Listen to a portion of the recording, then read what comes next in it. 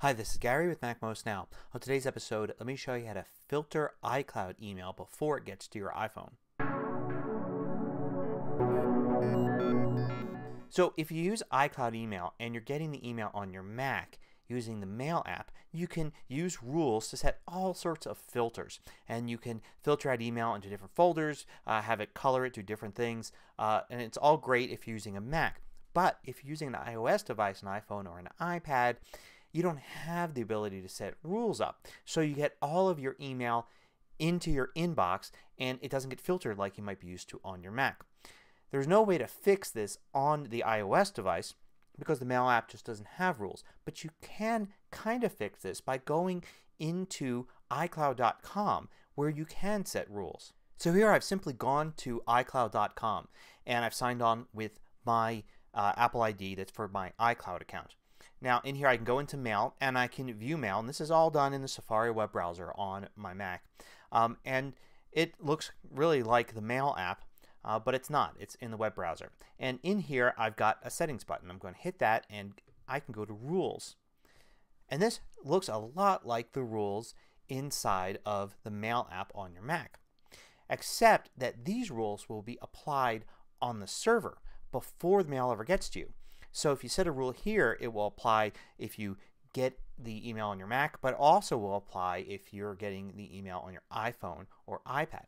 So for instance, I can add a rule and you can see it's more limited than using the Mail app on your Mac. But you can still do some things. You can do, uh, you know, from, address to, has subject containing. So I can have um, subject containing and then do something like, uh, you know, Project Alpha anything that has a subject with Project Alpha in it I'll move to a folder and I'll create a folder called Project Alpha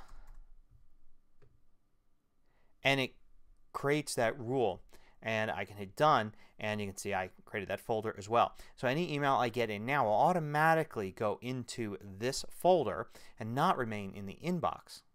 Now I can also set up rules that do other things like for instance, instead of move to folder, I can move it directly to the trash or forward it. Um, I can choose a folder and I can choose junk as one of the folders. So if I'm getting a lot of spam email from a particular address or something or just something I just don't want to see on my iPhone or iPad, I can set up a rule to move it to trash. Uh, if it's spam, I can move it to junk or I can move it to some other folder um, if I want to, uh, even including the archive folder. So basically just archiving it directly. Now, if you've never thought about this before, you might be wondering what the big deal is. Well, the big deal is, is that you don't have any filtering on the Mail app on the iPhone or iPad.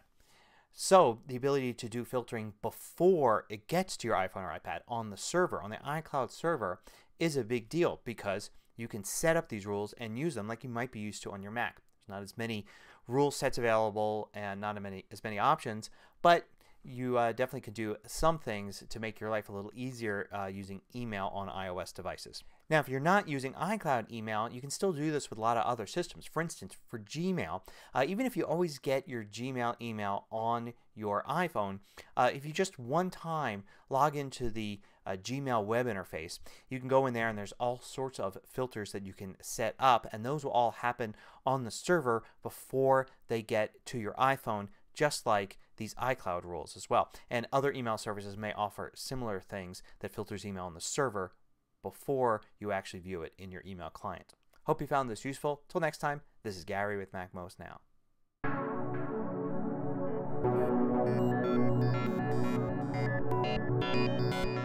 If you found this video useful, there's one thing you can do for me in return. It won't cost you anything and it'll just take you a few seconds. If you're not already at MacMost.com, go there and then look for the video you just watched and go to that page.